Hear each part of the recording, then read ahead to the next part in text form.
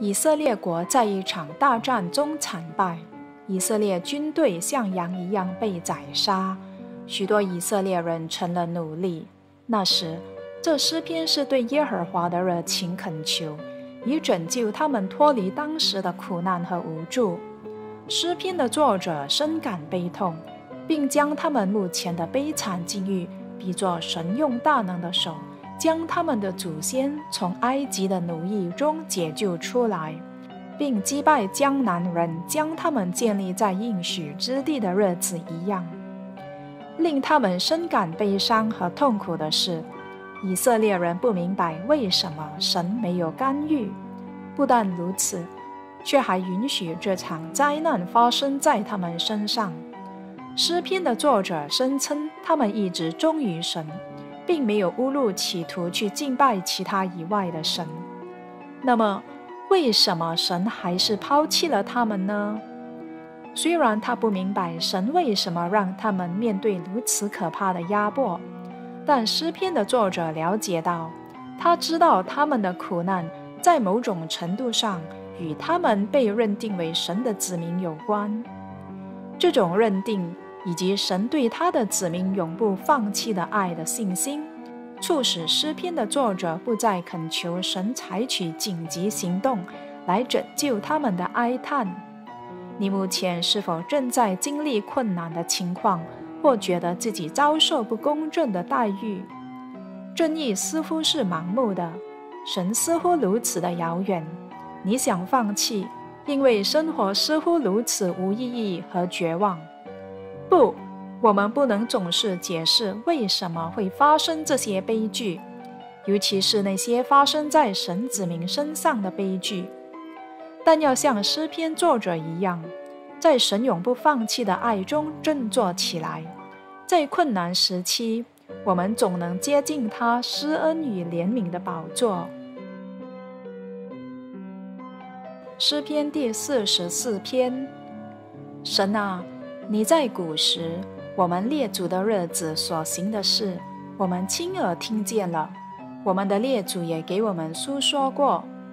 你曾用手赶出外邦人，却栽培了我们列祖；你苦待列邦，却叫我们列祖发达，因为他们不是靠自己的刀剑得地土，也不是靠自己的膀臂得胜，乃是靠你的右手、你的膀臂。和你脸上的亮光，因为你喜悦他们。神啊，你是我的王，求你出令使雅各得胜。我们靠你要推倒我们的敌人，靠你的名要践踏那起来攻击我们的人。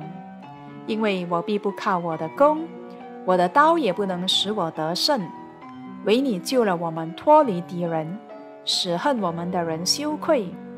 我们终日因神夸耀。还要永远称谢你的名，但如今你丢弃了我们，使我们受辱，不和我们的军兵同去。你使我们向敌人转身退后，那恨我们的人任意抢夺。你使我们当作快要被吃的羊，把我们分散在列邦中。你卖了你的子民也不赚利，所得的价值并不加添你的资财。你使我们受邻国的羞辱，被四周的人知笑讥刺。你使我们在列邦中做了笑谈，使众民向我们摇头。我的凌辱终日在我面前，我脸上的羞愧将我遮蔽，都因那辱骂毁谤人的声音，又因仇敌和报仇人的缘故，这都临到我们身上，我们却没有忘记你。也没有违背你的约，我们的心没有退后，我们的脚也没有偏离你的路。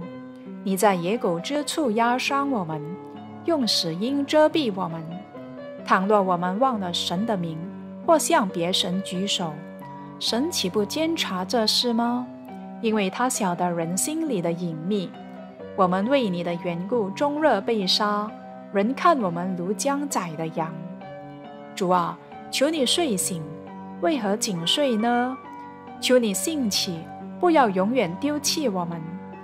你为何掩面不顾我们所遭的苦难和所受的欺压？我们的性命腐于尘土，我们的肚腹紧贴地面。求你起来帮助我们，凭你的慈爱救赎我们。我们一起来祷告：我们慈爱和仁慈的天父，我们承认你是全能的神，无所不知的神。我们感谢你，因为你充满了恩典和怜悯，你的慈爱永远长存，你的信实直到万代，你保守着我们。你不打盹也不睡觉，在遇到困难时，我们可以向你寻求帮助。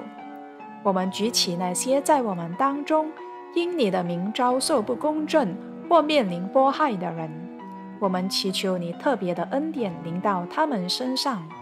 主啊，愿你更新他们的思想，坚固他们的心，更新他们的灵。奉耶稣的名，阿门。